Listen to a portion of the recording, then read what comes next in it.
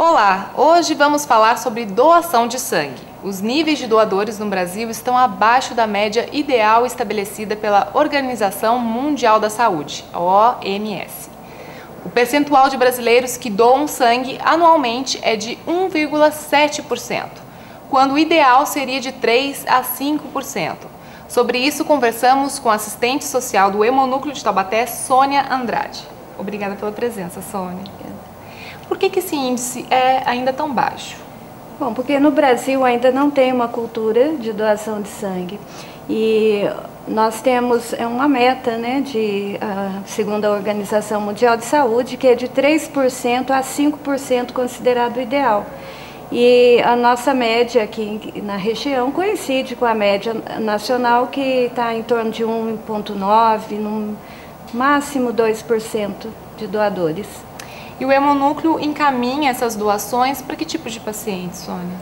Bom, eh, toda a região do Vale do Paraíba é atendida pelo hemonúcleo. E dia 25 de novembro é o Dia Mundial do Doador, né, de sangue. Mas não é só nesse dia que o hemonúcleo faz a captação.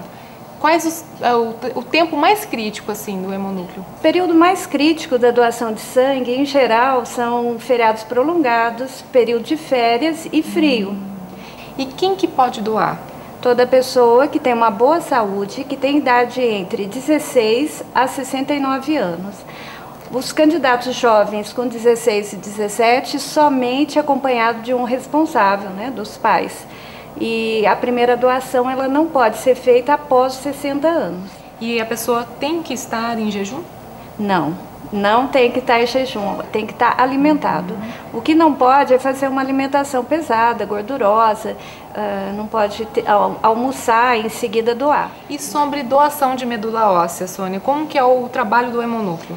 Sim, o hemonúcleo é referência aqui na região do Vale do Paraíba todo para cadastro de medula óssea. Esse cadastro é, é um, são dados pessoais do doador e quando ele se cadastra é retirada uma pequena amostra do sangue e essa amostra é encaminhada para os laboratórios específicos de tipagem do HLA.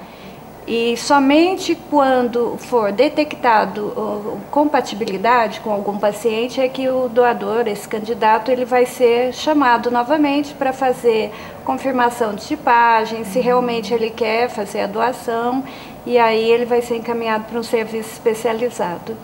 Sônia, muito obrigada pelas informações. Eu que agradeço.